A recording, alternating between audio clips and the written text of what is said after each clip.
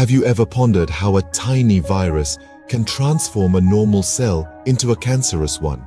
This enigma, known as viral oncogenesis, is a puzzle that scientists across the globe are striving to piece together. It's a complex process, a dance of molecular mechanisms that can forever alter a cell's destiny. Chronic inflammation, disruption of genetic and epigenetic integrity, interference with DNA repair mechanisms and cell cycle dysregulation, all these elements play a part in the terrifying transformation.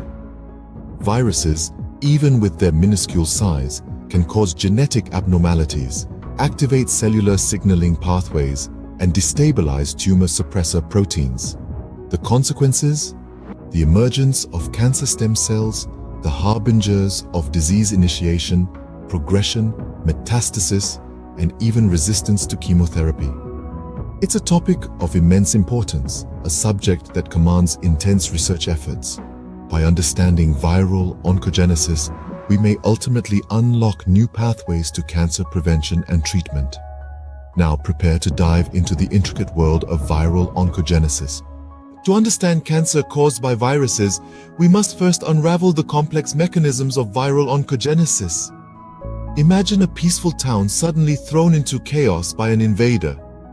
The invader may not have the firepower to destroy the town, but it knows how to manipulate the town's systems to its advantage. This is akin to how viruses can induce cancer in host cells.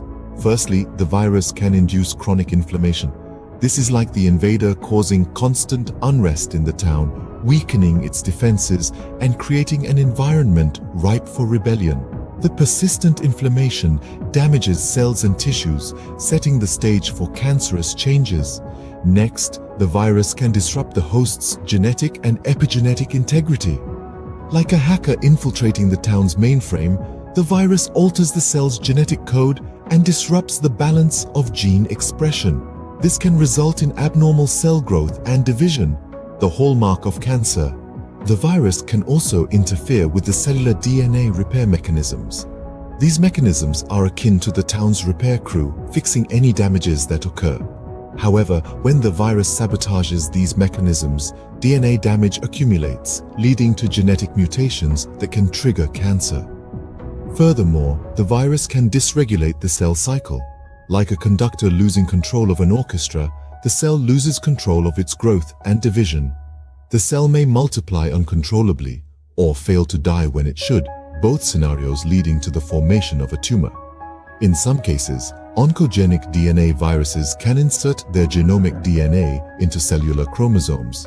This is like the invader planting its flag in the town's center, marking it as its territory. The insertion can disrupt the normal function of genes and lead to cancer. These are just some of the mechanisms through which viruses can induce cancer. Each of them involves the virus manipulating the cell systems to create an environment conducive to cancer development. It's a complex process, but understanding these mechanisms is crucial for developing effective treatments. With these mechanisms at play, a once healthy cell can become a breeding ground for cancer.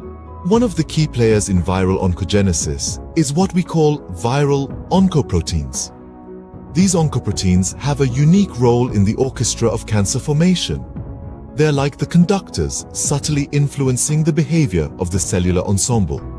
Now, you might wonder, what exactly do these oncoproteins do? To put it simply, oncoproteins are like covert agents, infiltrating our cells and meddling with the normal processes.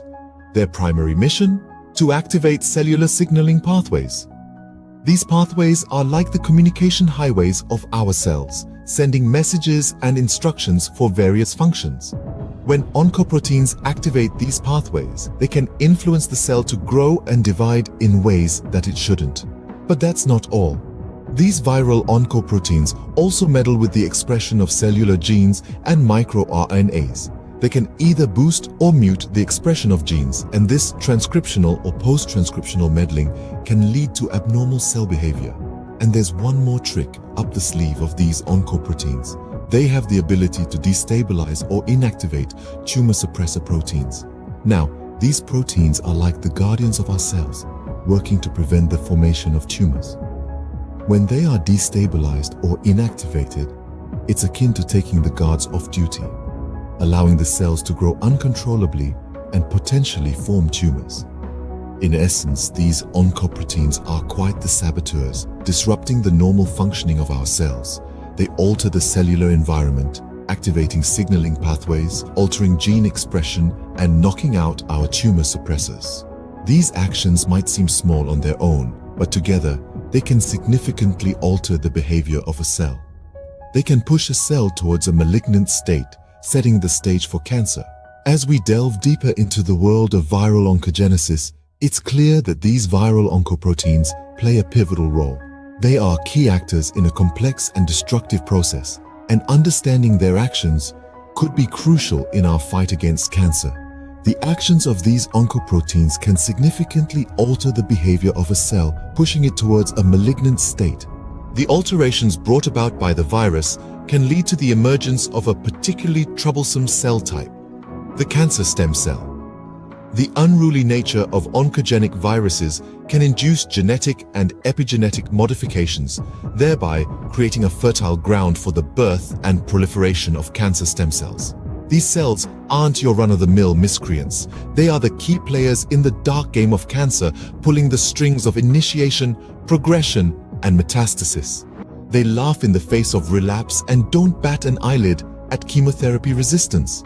They are the puppet masters, the conductors of the grim orchestra orchestrating the twisted symphony of disease. But why do they hold such power?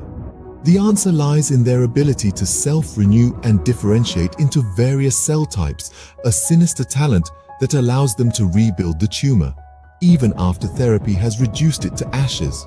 The rise of cancer stem cells marks a critical step in the journey from infection to cancer. The battle against viral oncogenesis is far from over. Researchers around the globe are tirelessly working to dive deeper into the understanding of this complex process. The focus is on identifying the specific cellular genes and signaling pathways that play a part in viral oncogenesis. By dissecting these intricate pathways, it's hoped that we can reveal the hidden secrets of how viruses transform normal cells into cancerous ones. This isn't a small task, as the molecular mechanisms of viral oncogenesis are as complex as they are diverse. But with every experiment conducted, every sample analyzed and every hypothesis tested, we inch closer to the truth. This continued study is not just crucial, it's imperative. It's the key to developing more effective treatments for viral-induced cancers. With every new discovery, we move one step closer to unraveling the mystery of viral oncogenesis and ultimately to finding more effective treatments for viral-induced cancers.